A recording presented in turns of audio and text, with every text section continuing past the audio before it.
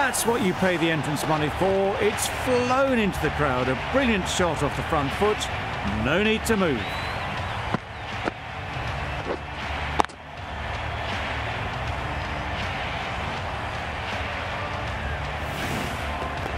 They shouldn't get too discouraged with that last ball. The first step as a bowler is to get the batter playing, which they've managed.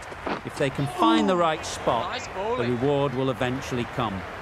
That was a pretty wild delivery. Lost all control.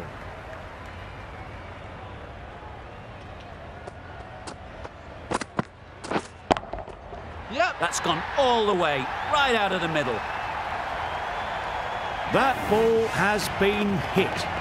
It's flown into the crowd. To get that much power coming forward on the front foot is ridiculous. That last ball isn't something you'd want to see a repeat of. You don't want to be giving easy runs away. Ooh. Nice bowling. I'm not sure what happened with that delivery. Maybe trying the slower ball, but just got it all wrong.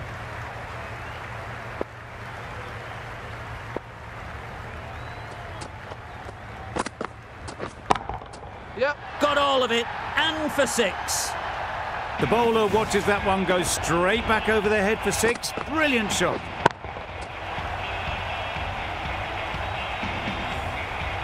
Don't need to do anything special. Line and length is the key.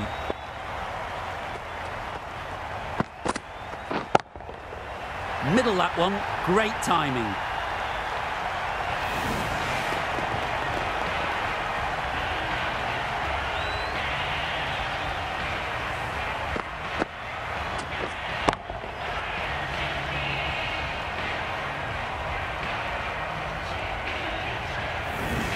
Russell is finding it difficult to contain this pair at the moment.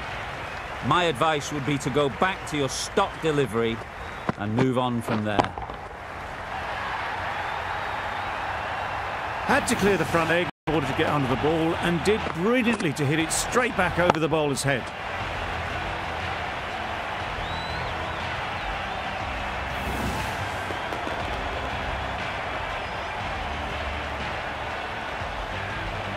Don't mind getting hit for runs. What's important is to focus on getting the next ball right.